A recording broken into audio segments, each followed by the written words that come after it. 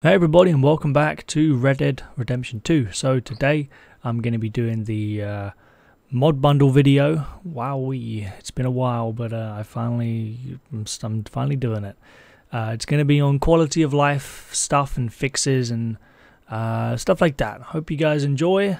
It's a pretty long list, so buckle up, and they're in no particular order, by the way. So starting off, we have PED Accuracy Fix by Machine 555. This mod improves and makes more realistic the accuracy in the game for many of the different PED groups. So all of the different gangs in the game, the O'Driscolls, the uh, Murfree Brood, and, and all of the different gangs, uh, and all of the police officers and sheriffs and bounty hunters, every different group of NPC has had their accuracy changed to be more realistic and more aligned with their profession. You know, civilians won't have as good of aim as uh, trained bounty hunters or Pinkertons. So, yeah. Oh, and also the mod doesn't touch the Dutch Van der gang's accuracy. And the next mod is no more Arthur animations for John in brackets. And it's by Abok I Abokai. I'm a dumb British man, please forgive me. Anyways, leaving my terrible pronunciation of his name aside, this mod fixes the bug that, for whatever reason, made it so uh, John had Arthur's running animation. And the next mod is Corn Sack Fix by um, future me, please put his name here. This is such an annoying bug in Red Dead. You pick up the corn sack and it just folds straight. It, it like turns solid when it's supposed to be flaccid. Uh, and this mod fixes that. It makes the corn sacks flaccid, uh, and genuinely that is a huge annoyance in Red Dead. Um, it's bugged me ever since the game came out and never got fixed for whatever reason. But luckily, this hero is here to save us. So the next mod is Calorie Descriptions by Bowman70. Very simple mod, it adds a little calorie descriptions to foods, so you can see whether it's high, medium or low in calories. And next up we have Realistic Loadouts by this fine man right here. So this is a huge mod, but I'm just going to try to keep it short because I don't want to spend 15 minutes in this video just discussing one mod. Um, but basically it just reorganizes the loadouts for all of the different NPC groups literally all of them. It also changes some of the combat behavior for uh, NPCs as well. But the, for the most part, what you're going to be focusing focusing on is the gun loadouts. It adds a whole variety of weapons to different NPC groups. In this video here, I just spawned a bunch of gang members, but it does this for police officers, for sheriffs, for lawmen, for literally every single NPC group, even hunters and stuff. Hunters will, will now use um, uh, Springfield rifles instead of just Spencer rifles. This might be a little hard to believe, but not everybody in the Wild West just used Colt 45s and Spencer rifles.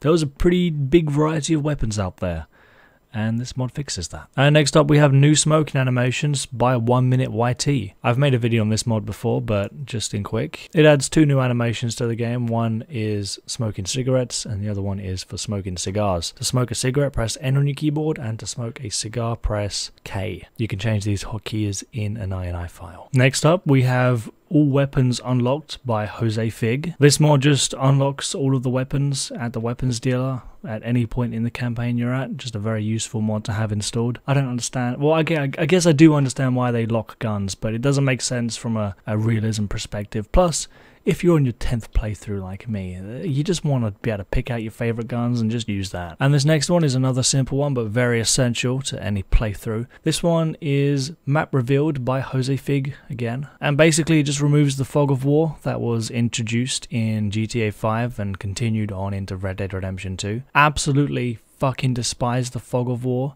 Makes no sense. Why do faps... Faps?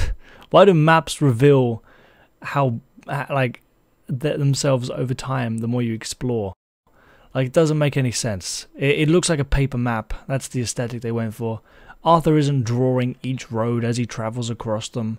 So, uh, yeah, that's why I like this mod. And next we have Fixed Bandolier, no More Hovering by Blank 1923. This mod adjusts the bandoliers so they're not floating around your character and they're actually placed on your character. And the next mod is James Langton NPC replacement by this sexy individual here. And what the mod does is pretty simple, it replaces him bleh, with him And next up we have holstering animation by this fine gentleman. It's a really simple mod and a really nice mod to have. It just adds a little animation when you holster your uh, weapon on a horse. Uh, and that's pretty much it. And next up we have first person walk fix by this beautiful individual. So, by default in Red Dead Redemption 2, if you go into first person and you move forwards, you'll start running. Don't really know why, but you do. And this mod fixes that. It makes it so you walk, you know, by default, and then if you want to run, you can press shift. Really good mod for immersion, and um, just a simple mod to have installed. So, sticking onto the running bug fix theme, we have Fix Toggle Run on Keyboard by Kid. And, um, this mod adds the toggle run thing from GTA 5 into Red Dead Redemption 2. Why it wasn't in the game to begin with, I have no idea. Uh, but basically, if you don't know what toggle run is, you press shift to start running and you hold shift to sprint. Uh, but if you want to stop running and you just want to transition back into a walk, you can press shift again and it will transition you back into a walk without your character fully stopping. Again, a really simple mod, but a really nice one to have installed. And next up we have High Res UI by a classy slice of toast. Simply put, this mod just uses unused high resolution textures for the icons in Red Dead and makes them look a lot sharper and nicer enjoy it. And next up we have Remove Horse Speed Limit by this beautiful specimen. Sorry I can't pronounce half the names on this list. I'm a dyslexic, borderline retarded man, so uh, just forgive me. And uh, anyways, this mod removes uh, the horse speed limit that you get in towns and on bridges, so you can gallop at full speed, which makes sense. And next up we have So You Lost Your Hat, Hat Map Markers.